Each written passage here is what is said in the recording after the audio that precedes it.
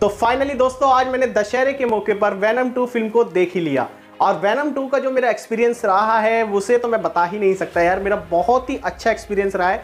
वैसे तो मुझे इसके नेक्स्ट पार्ट से काफ़ी उम्मीदें थी, क्योंकि फ़र्स्ट पार्ट भी मुझे बहुत अच्छा लगा था, जिसके अंदर काफ़ी सारी रिव्यूअर्स के मैंने रिव्यू भी सुने थे तो उन्होंने नेगेटिव पब्लिसिटी की थी उस टाइम पर उसकी। उतना अच्छा पार्ट नहीं बन पाया था उनके अकॉर्डिंग मुझे तो खैर अच्छा लगा था वैनम का जो कंसेप्ट है, वो मुझे बहुत पसंद आया था। और लास्ट में जो हमारे हमेशा से आते हैं मार्वल के जितने कैरेक्टर उन्होंने डिज़ाइन किए हैं उनकी भी झलक पाने के लिए मतलब दिल खुश हो जाता है। वैनम टू में वो नहीं है, वो बात एक अलग है, लेकिन एक तरह से उनका ट्रिब्यूट ही है कि वो हमेशा एक नए कैरेक्टर इतने सारे उन्होंने मार्वल को कैरेक्टर दिए हैं। मैं मतलब उनके लिए क्या ही कहूँ यार सैल्यूट है ऐसे पर्सन को।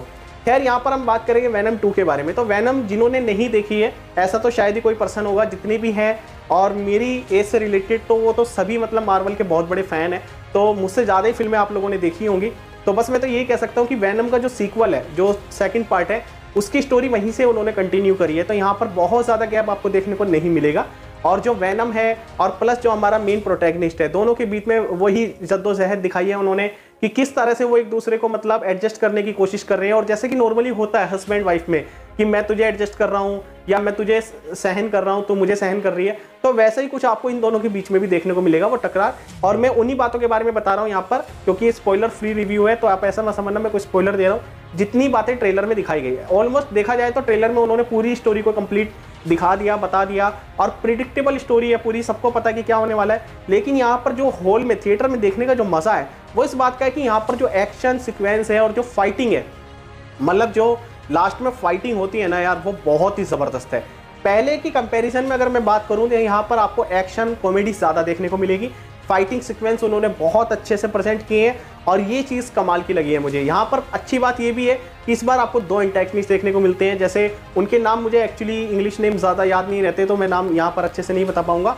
लेकिन जो जो लड़की है, आवाज़ से कांच वगैरह सब तोड़ देती है और मतलब जो उसकी वोकल मैजिकल जो वो पावर है तो वो जो एक तरह से म्यूटेंट ही है वो तो उसकी जो यहाँ पर पावर दिखाई है तो बहुत अच्छा लगेगा। मतलब आपको देखने में ये फ़िल्म बहुत अच्छी लगेगी।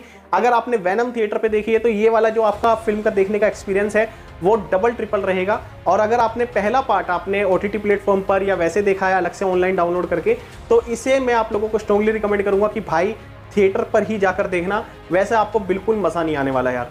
बहुत ही अच्छी फ़िल्म है और आप लोगों की तबीयत खुश हो जाएगी और यहाँ पर पोस्ट क्रेडिट सीन भी है। तो उसके बारे में यहाँ बात इसलिए नहीं करूँगा क्योंकि स्पॉयलर फ्री रिव्यूअर कहीं ना कहीं फिर स्पॉयलर चला जाएगा। बस इतना ही बता सकता हूँ कि इसकी जो कहानी है, वो स्पाइडरमैन से कहीं ना कहीं वो कनेक्ट कर रहे हैं और आपको ये पोस्ट क्रेडिट सीन देखने के बाद पता चलेगा। तो ओवरऑल फ़िल्म बहुत अच्छी है। मैं इस फ़िल्म को अगर रेटिंग की बात है तो nine out of ten rating देना चाहूँगा। बाकी आप लोग कमेंट करके बताओ कि आपको पहले पार्ट से ये फ़िल्म कितनी बेटर लगी। आपको वीडियो अच्छी लगी तो उसे लाइक करो शेयर करो चैनल को सब्सक्राइब करो और नमोकार सिनेमा चैनल के ऑफिशियल पेज पर अगर आप नए हैं तो हमारे फेसबुक पेज को ज़रूर फॉलो करें। जय जिनेन्द्र।